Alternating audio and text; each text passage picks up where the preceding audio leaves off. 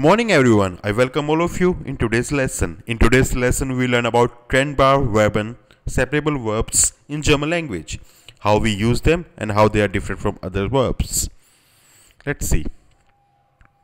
Trennbar Verben. Many German verbs take a range of prefix. What is prefix? Prefix is a small word that can be added to another word, normally a verb, to give it a new meaning when we add a prefix just before the verb, it will give us a new meaning. The most common prefixes are ab, an, auf, aus, ein, mit, nach, vor, zu, zurück, bei. Normally these are the prefixes that add before just before the verb and give us a new meaning. Let's see how it works. This is prefix plus verb it give us a new word or new meaning of the sentence. Let's see some of the kommen prefix and how it changes to verb. Like we have a verb common to come. We add different prefix like ankommen. When we add ankommen it gives us a to arrive meaning mitkommen to come along. Common weiter yeah weiterkommen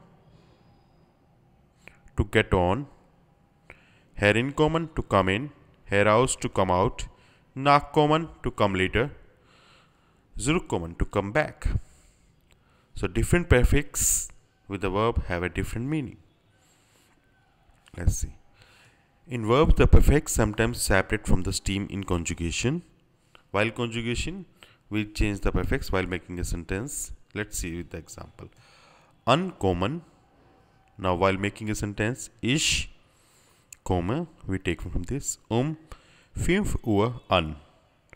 This part will always go at the end of the sentence and this part will conjugate as per the subject and will will take a second position.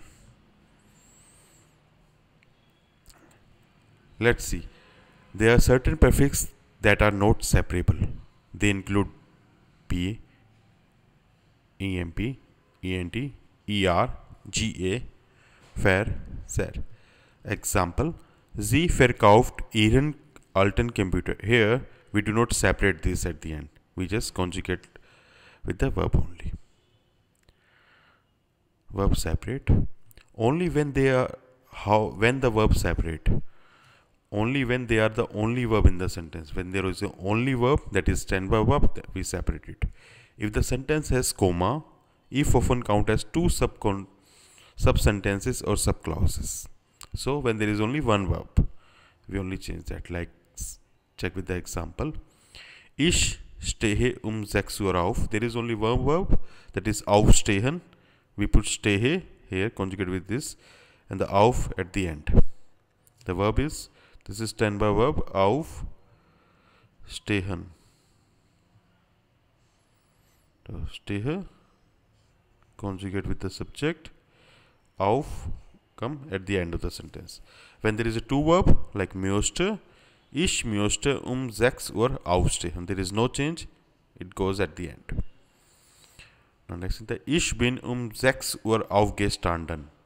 Here that we read in present participle and how we use them.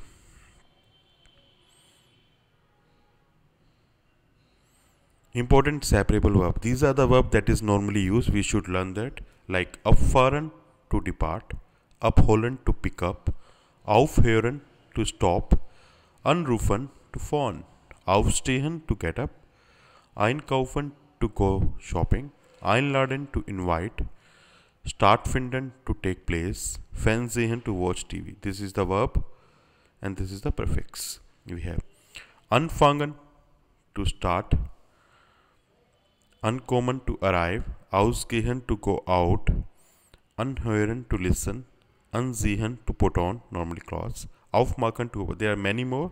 These are the more most important verbs, separable that you have.